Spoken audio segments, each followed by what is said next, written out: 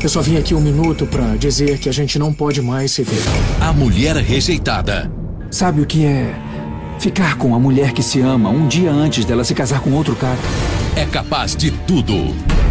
É que acabei de saber de uma coisa que o Arthur não vai perdoar a Teresa. O que ela fez dessa vez é uma coisa imperdoável.